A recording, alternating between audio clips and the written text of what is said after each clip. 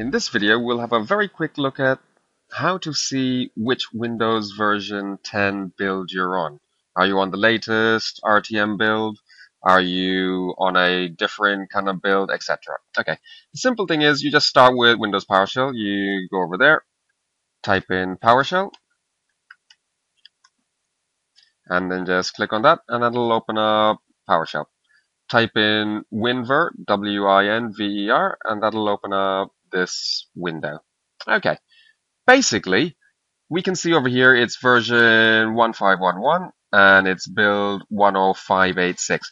This is the most recent RTM build, and if you want to check kind of like build numbers, a good place to go would be Wikipedia Windows 10.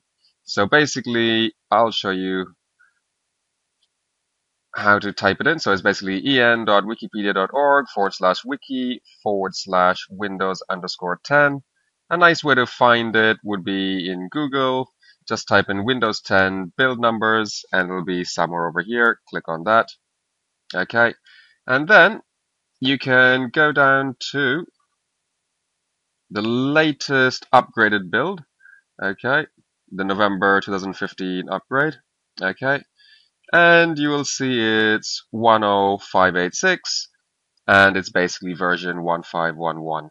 So that's the way to check whether you're on the latest version. Okay. Thank you for watching